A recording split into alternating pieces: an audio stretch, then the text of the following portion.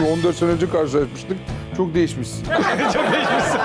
Uzaylı istilası. Bir sene sonra mı diyorsun? Daha kısa zamanda da olabilir. Beni ilgilendirmez. Bir sene yok yani.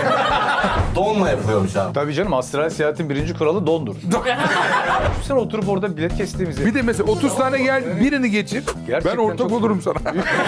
Başka bir tane daha boyut var. Bir tane daha var, yedi tane böyle gidiyor. Andromeda'daki sevgilinin anasının elini öptün mü? Anlat anlat. Yazdım oğlum. O bölgede elimde fırsat bir daire var. Alır mısın 50 bin? Öptüm. Seni de öpeceğim. Düşünce gücüyle kendini tığ gibi yapabilirsin. Bak durdum durdum Göz şimdi yükseldim bak.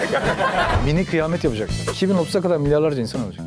Mutlu son yok ya. 30'un 2030'dan sonra Yusuf'un ilişkisi. Hiç ayrılmayacağız.